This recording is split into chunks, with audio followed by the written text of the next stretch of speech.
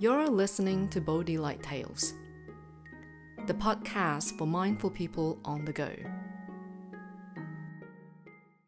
Hi, this is Miao Guang. Today's Bodhi Light tale is The Poisonous Scorpion. Once upon a time, there lived a poisonous scorpion on the riverbank. As days, weeks, and months passed, he thought to himself, I'm so tired of this boring life. It feels like I've been living here forever. A change of scenery would be nice. I wonder what's on the other side of the river. Since then, the scorpion could only but think about how he could cross the river. Then another thought came to him. Maybe if one of the animals around here would consent to helping him cross. Little did he know, all the animals were scared of him. One morning, as the scorpion wandered around the riverbank, he heard the kangaroo yell to the possum Quick, run! The scorpion is here! Before the scorpion could even say anything, they were gone. Even the koala, sitting high in the tree, kept a watchful eye on the scorpion and warned the other animals. Go! Hurry! He's getting closer to you. They would all stay as far away from the scorpion to avoid any chance of being stung and poisoned. Utterly disappointed, the scorpion knew that getting help to cross the river was going to be a challenge. However, he did not wish to give up. He went around asking for help and tried very hard to convince all the animals that he would not sting them. But no one was willing to take the risk. The birds in the sky and the fish in the river all rejected the scorpion's request for help crossing the river. All were scared their lives would be in danger. Each day, the scorpion would look at the other shore, sad that he did not have wings to fly across. He also admired the fish, who had the freedom to swim leisurely in the river. One day, the sky was clear and the sun was shining. Again, the scorpion went for a stroll along his riverbank. He then saw a turtle slowly making his way towards him. Without hesitation, the scorpion said, Turtle, I would like to be like you, always learning and seeking new adventures, roaming around. I would like to travel to the other shore of the river. Can you please take me over there? The turtle answered reluctantly. I'm willing to help you, but your poisonous sting could kill me. How can I trust you? The scorpion beat his own chest and replied, I promise you I won't.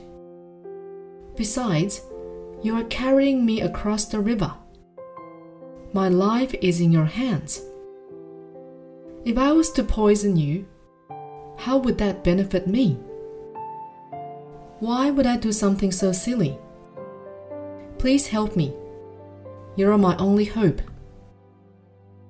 Seeing the scorpion pleading, the turtle said, All right, but remember your promise not to sting me, okay? Yes, yes, I promise.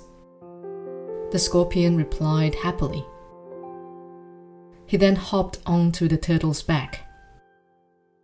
The turtle swam hard and fast across the river. But on the verge of reaching the other side, he felt a sharp sting on the back of his head. Angry, the turtle yelled at the scorpion. You ungrateful scorpion! You stung me with your poison on purpose. I knew you could not be trusted. Now we are both going to drown and die. Why would you even do such a thing? Feeling guilty and regret, the scorpion replied, I didn't mean to hurt you. Please forgive me. I am really sorry for what happened. Been a scorpion for so long that it is in my nature to sting and use my poison. I really didn't mean to do it. This story highlights that we all have our own habits. If we develop habits of love and compassion, our minds will remain pure and we will be at ease. If we develop the habits of cherishing and building affinities with others, it can lead us to good affinities. However, developing bad habits such as greed and jealousy is like trapping our minds in the locked gates of hell. We will constantly be stranded in a sea of suffering. The Buddha said, Life is impermanent, just like the morning dew. Water drops are fleeting. Nothing lasts forever. Despite the savings that we may deposit in our bank accounts, there is no guarantee we will always make an income from it. Life is short, so we should learn to practice loving kindness, doing kind deeds, and being the master of our own lives. We should practice discipline, meditative concentration, and wisdom to subdue the poisonous scorpion in our mind we should remove the poisonous sting from ourselves in order to safely arrive on the other side of the river. Just as Venerable Master Hsing says, repeated action becomes a habit. Habit becomes a character. A character becomes fate. Fate rules your life. This is Miao Guang Thank you for listening to Bodhi Light Tales. Subscribe to us and have stories delivered to you every week. May your day be filled with happiness and wisdom.